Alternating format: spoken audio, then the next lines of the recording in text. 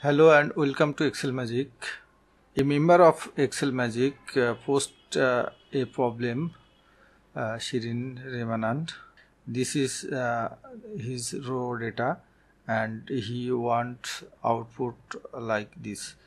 Uh, so, uh, how can I do this in pivot table? I will show that. Go to Excel. At first, select all, all data. Uh, if uh, any cell in this table uh, is blank it will not work. So uh, you have to confirm that. Then go to insert and uh, pivot table. Select the pivot table and uh, I want to in existing worksheet then select here okay now I have make a pivot table then here is a out output uh, employee ID and employee's name and bill expense account.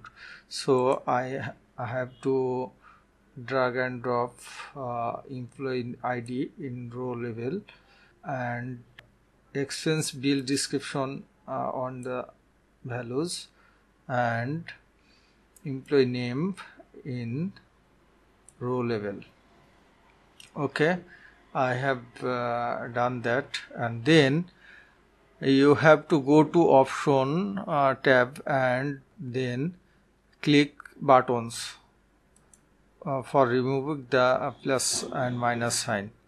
Then you have to go to design and go to subtotal and click on do not show subtotals. Okay?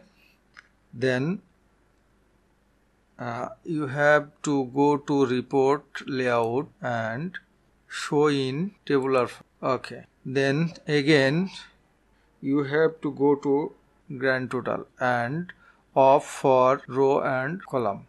Okay. This is your actual output. Uh, I think this video will be I hope you have got your solution. Thanks for watching this video.